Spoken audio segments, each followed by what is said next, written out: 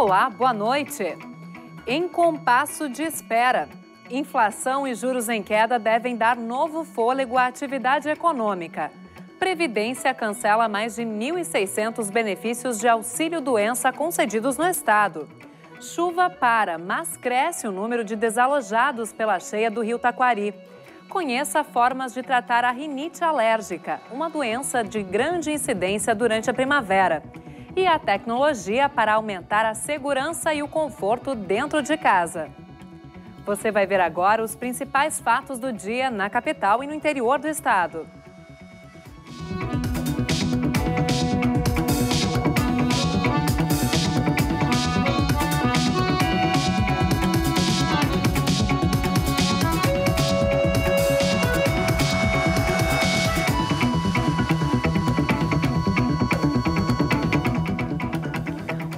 Comércio gaúcho aguarda com cautela os efeitos das mudanças nos indicadores econômicos do país.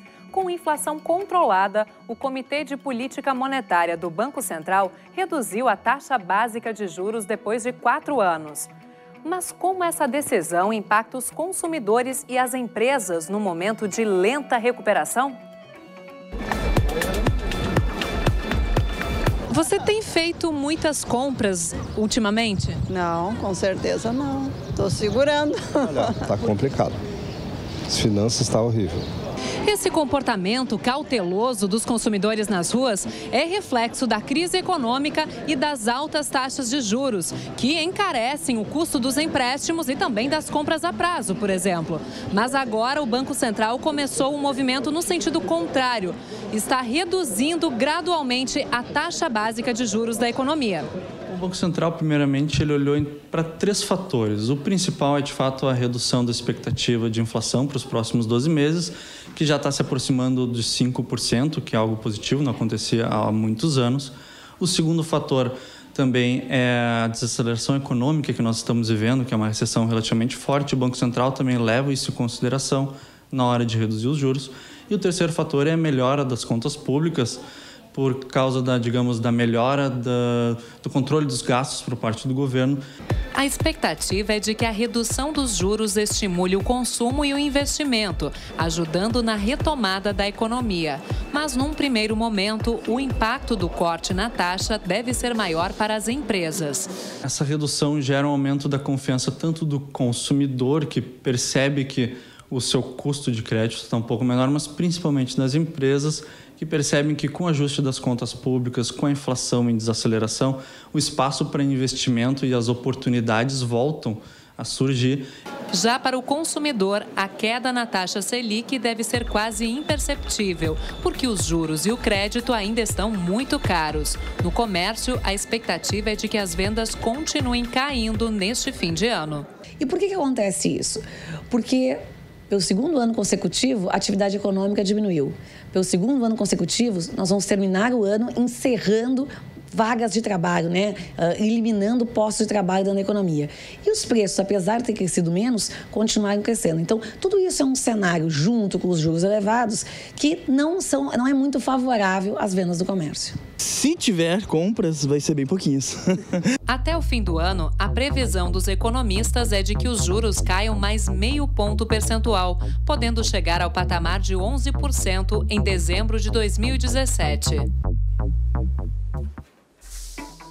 Investimento confirmado. A multinacional francesa Lactalis vai transferir sua matriz brasileira de São Paulo para Porto Alegre, com um investimento superior a 100 milhões de reais. O acordo foi fechado durante reunião em Paris entre representantes do governo gaúcho e da empresa. A iniciativa deve aumentar a produção de matéria-prima nas unidades da Lactalis, já instaladas nos municípios de 3 de Maio, Ijuí, Santa Rosa e Teutônia. Ainda durante a missão do Palácio Piratini à Europa, representantes da cadeia produtiva do leite do Rio Grande do Sul e da França também se reuniram hoje. Eles discutiram os processos para obtenção de certificados para o produto gaúcho, incluindo a possibilidade de técnicos franceses visitarem o estado. Um mês após o início da revisão nos auxílios-doença, o INSS cancelou aproximadamente 80% dos benefícios avaliados até 15 de outubro aqui no estado. O Instituto garante que a ação é decisiva para reduzir o número de fraudes. A Associação Nacional de Aposentados e Pensionistas, no entanto, contesta a maneira como as decisões estão sendo tomadas. Iara paga INSS como autônoma.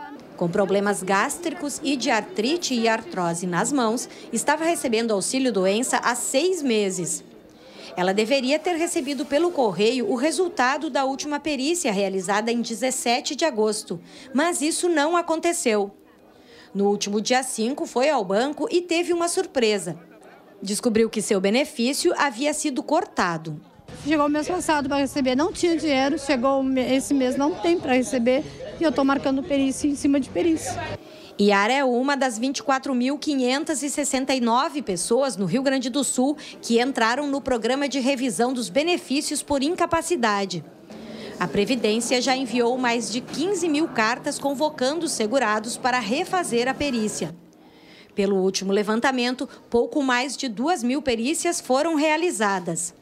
Dessas, 1.651, ou seja, 81,25%, tiveram o benefício cortado.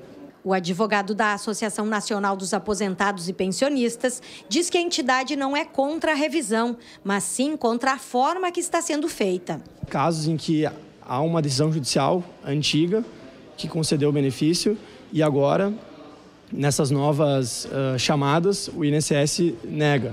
Então, uh, não há contraditório, é, a pessoa não há produção de provas e simplesmente uma perícia que naquele momento verifica e nega o benefício à pessoa. A associação orienta os segurados a comparecer à perícia e, em caso de corte no benefício, ingressar na justiça contestando a decisão. Na vanguarda do mercado, o Rio Grande do Sul é o estado brasileiro com maior número de produtos com certificado de indicação de procedência ou denominação de origem. A versão digital do mapa foi lançada hoje pelo IBGE. Dos 49 produtos listados, 10 são gaúchos. No topo do ranking estão os vinhos e espumantes do Vale dos Vinhedos em Bento Gonçalves, que foram os primeiros do país a receber o certificado de indicação de procedência. Também aparecem na lista a carne do Pampa Gaúcho, o arroz do Litoral Norte, os doces de Pelotas e o couro do Vale dos Sinos. Pouca chuva na região metropolitana nesta sexta-feira, mas ela não chega à capital, onde as temperaturas caem e a máxima não passa dos 21 graus. Em Novo Hamburgo pode chover com baixa intensidade à tarde, faz 22 graus. E no litoral norte, nada de chuvas e predomínio de sol, mínima de 15 e máxima de 21 graus em Tramandaí. E ainda nesta edição, veja como a automação residencial pode auxiliar no conforto e na segurança doméstica. E depois do intervalo, apesar do fim das chuvas, Rio Taquari continua tirando famílias de casa. A gente mostra logo mais.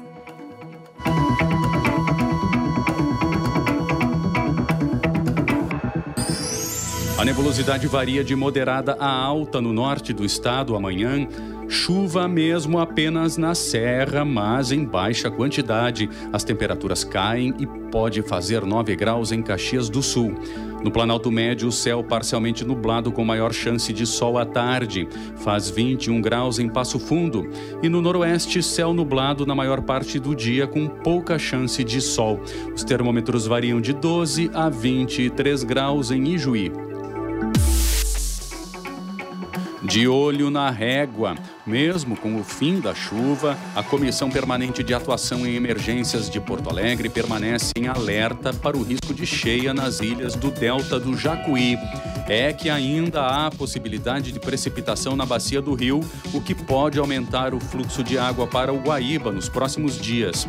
Equipes da Defesa Civil monitoram o nível do lago, que segue em estado de atenção. O último balanço da Defesa Civil contabiliza mais de 800 famílias fora de casa no estado. De ontem para hoje, o número de municípios atingidos subiu de 63 para 71. Em Lajeado, o rio Taquari voltou a assustar. A chuva da madrugada elevou o nível das águas e mais famílias precisaram sair de casa. Mesmo sem, sem, chuva, a previsão é de que ocorram novos alagamentos, como você confere na reportagem da TV Univates. A chuva parou e o sol apareceu, mas o rio Taquari continua subindo. Isso porque a água permanece descendo das cabeceiras do rio. A notícia que a gente tem estabilizou encantado, né? Mas sempre tem aquele período entre 5, 6 horas que vai descendo a água. É evidente que ela vai baixando é, o, o nível, né? Mas aqui ainda vai subir por um, por um tempinho né? E vai desalojar mais gente. Com a chuva da madrugada, o rio subiu cerca de 3 metros no Porto de Estrela, suficiente para retirar outras famílias de casa. Olha, foi, foi terrível.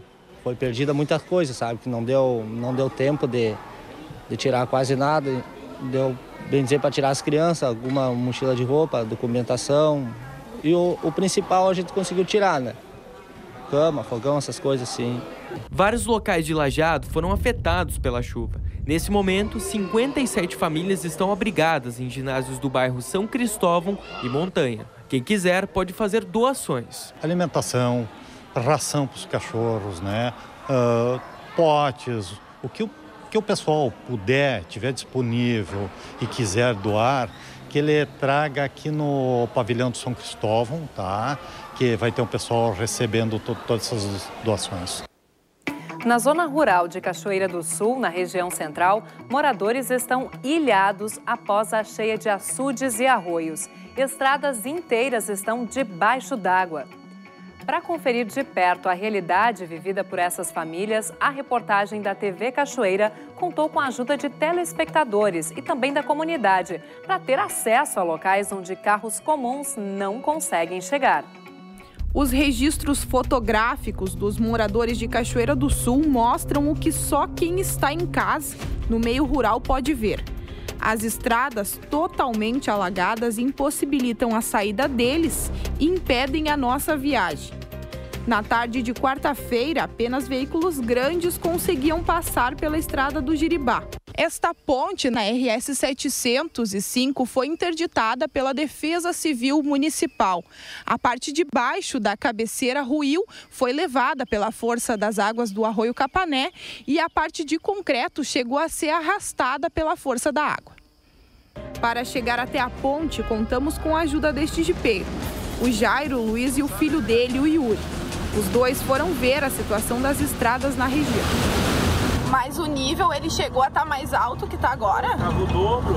Segunda-feira que eu fui até lá a metade, aí essas coisas aqui estavam tudo tapado. Praticamente um quilômetro da estrada ainda está alagado. Durante o percurso, Jairo conta que os pais dele, que moram no São Lourenço, estão desde domingo sem poder sair de casa. Quantos dias sem sair de casa já?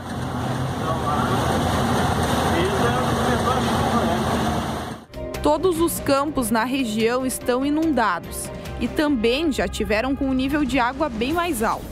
Isso porque um açude na margem da BR-290, próximo do balneário Bela Vista, teve a taipa rompida e toda a água acabou descendo numa velocidade assustadora que chegou a arrancar algumas árvores no arroio.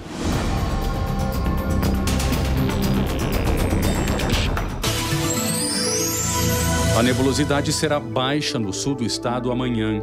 Em Bagé, poucas nuvens no céu e tarde agradável. As temperaturas não sobem e a máxima fica em torno de 22 graus. Mesma condição em Pelotas, onde as nuvens aparecem em maior quantidade pela manhã. Faz 21 graus. No litoral sul, chance de chuva ao meio da tarde, mas as nuvens se dissipam e o sol aparece no fim do dia. Os termômetros ficam entre 14 e 20 graus em Rio Grande. Os técnicos administrativos da Universidade Federal do Rio Grande entraram em greve por tempo indeterminado. A categoria protesta contra a PEC 241, proposta de emenda à Constituição que congela os gastos do governo por 20 anos. No hospital universitário, a mobilização começa no sábado. Técnicos de diversas universidades federais do país já votaram e aprovaram indicativo de greve pelo mesmo motivo. Primavera e com ela surgem alguns sintomas indesejados: coriza, vermelhidão nos olhos, espirros e coceira no nariz. Para quem tem rinite, isso é mais comum nessa época do ano. Mas apesar de não ter cura, existem tratamentos bem eficientes para amenizar ou até eliminar os incômodos por um longo tempo. Quem nos traz os detalhes é a reportagem da UPF TV. Ácaros, pólen, mofo e pelo de animais são os principais vilões para os alérgicos e principalmente para quem tem rinite. Sorte de quem não desenvolveu essa alergia. Rinite é uma inflamação das vias aéreas, tá? da mucosa, né, que é a parte que reveste a nossa via aérea, uh, causada por algum fator externo, geralmente alérgico ou não. Quem tem rinite já sabe que quando os espirros e a coceira começam, é hora de tomar um antialérgico. Mas quem não faz ideia que possui esse tipo de alergia acaba confundindo com um resfriado ou uma gripe, porque alguns dos sintomas são os mesmos. Aí, vale ficar atento às causas do mal-estar. Tem que fazer uh, um controle ambiental, né? Tirar os fatores que desencadeiam as crises, evitar contato com esses fatores e usar a medicação preventiva de uma forma contínua, adequada, a dose correta. Uma vez alérgico, sempre alérgico. E para tentar contornar as crises, novos tratamentos aparecem com a evolução da medicina e com o passar dos anos como a imunoterapia. A imunoterapia com alérgenos, ou também chamada como vacina para alergia, é, é um tratamento feito para dessensibilizar o sistema imunológico do paciente que tem alergia a algumas substâncias. Como o tratamento é prolongado, os resultados aparecem um pouco mais tarde. Com seis meses, já dá para perceber certa melhora. É o caso do Juan. Uma vez por semana, ele deixa a tapera e vem para Passo Fundo para continuar o tratamento. Quando eu era pequeno, a minha mãe disse que eu já comecei desde criança a ter esse problema. Daí agora que nós começamos a correr atrás para ver de um tratamento para melhorar isso. Durante esses seis meses, deu uma vez só uma alergia em mim. Então eu acho que está fazendo efeito as injeções. É bem perceptível a qualidade de vida desse paciente. Em torno de 4 a 6 meses a um ano já começa a aparecer o resultado, a melhora. Mas cada caso é um caso. O tempo de imunoterapia pode variar de pessoa para pessoa e esse tratamento deve ser feito junto com o uso de outros medicamentos prescritos por um alergista. Só assim vai ser possível diminuir a incidência das crises, já que a rinite ainda não tem cura. Centrais sindicais encaminharam hoje ao governo do estado reivindicação de reajuste de 10,6% para o salário mínimo regional do Rio Grande do Sul. O índice foi calculado a partir da estimativa da inflação medida pelo INPC de 9%, acrescido de 1,5%, que deixou de ser incluído no reajuste do ano passado para complementar a inflação. Caso seja aprovado, a primeira faixa do mínimo regional passará de R$ 1.100 para R$ 1.220. A chuva dá trégua na fronteira oeste nesta sexta-feira, mas as nuvens predominam em Uruguaiana, que terá temperaturas amenas, com máxima não passando dos 25 graus. Mesma condição em São Borja, que terá menor nebulosidade e maior presença de sol, faz 24 graus. E mais longe da fronteira, sol entre nuvens com a nebulosidade aumentando à noite. Faz mínima de 11 e máxima de 24 graus em Alegrete. E depois do intervalo, veja como a tecnologia pode ser aplicada para melhorar a segurança e o conforto doméstico. Nós já voltamos.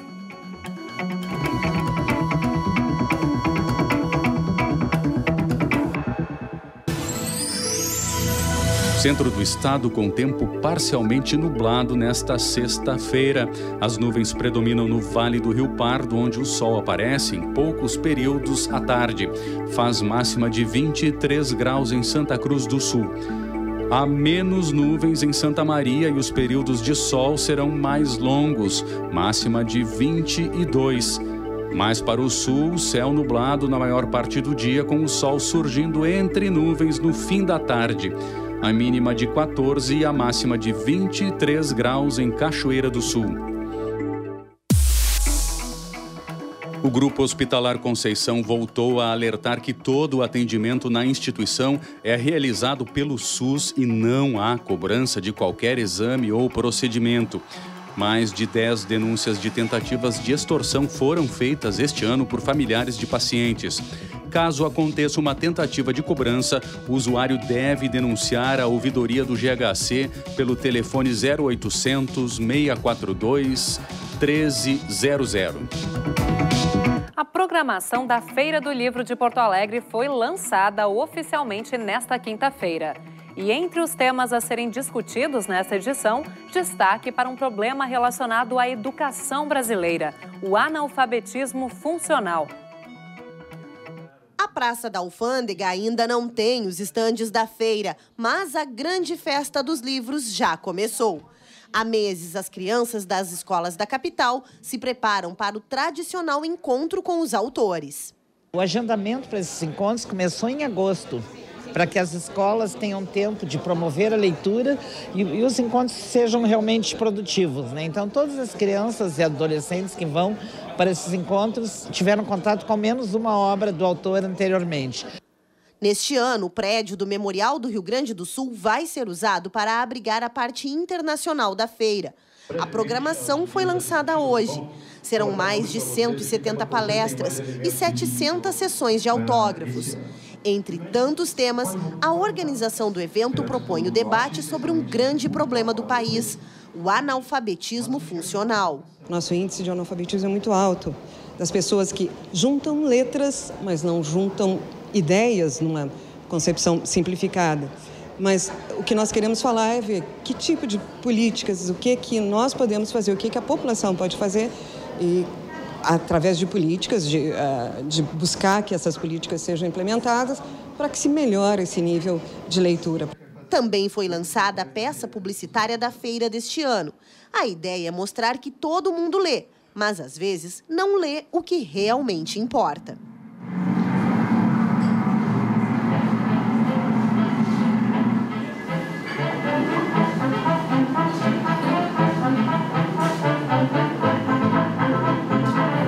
Muitas mídias sociais, muita coisa, muita informação, e isso deu um certo cansaço nas pessoas. Ah, será que é uma preparação que está sendo mal feita? As pessoas estão saindo né, da escolaridade então mal preparadas. Então, é hora de repensar. E a proposta da Feira do Livro é justamente isso: repensar essas posturas todas que nós estamos tendo com a educação no Brasil. E também dá para se engajar na campanha pela leitura. Clica em www.newsdaweb.com.br para ter uma surpresa. Conforto e segurança aliados em um sistema que começa a conquistar os brasileiros. A automação residencial ainda é uma tecnologia cara, mas surpreende pela eficiência e mudança na qualidade de vida das famílias.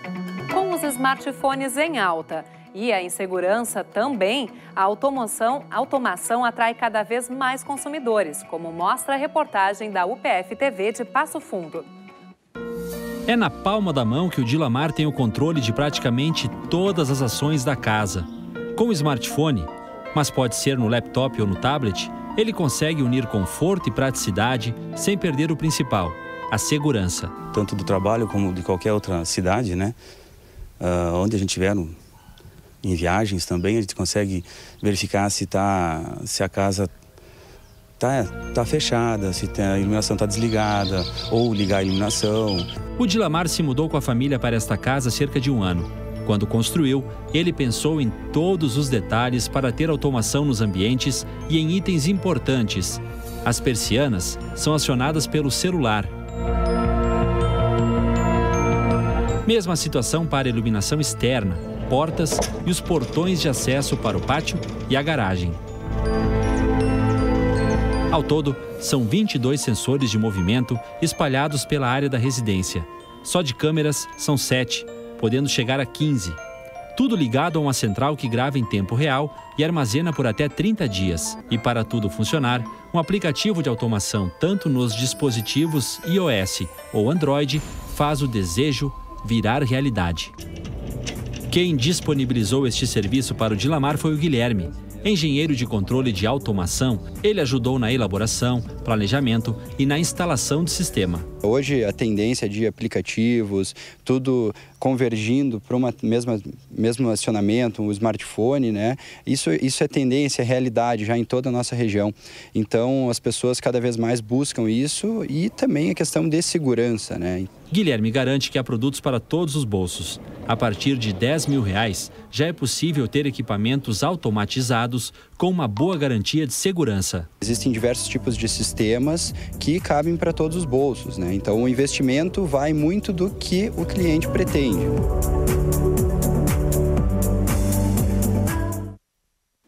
E assim nós encerramos a segunda edição de hoje. Voltamos amanhã com novas informações. Uma boa noite para você e até lá!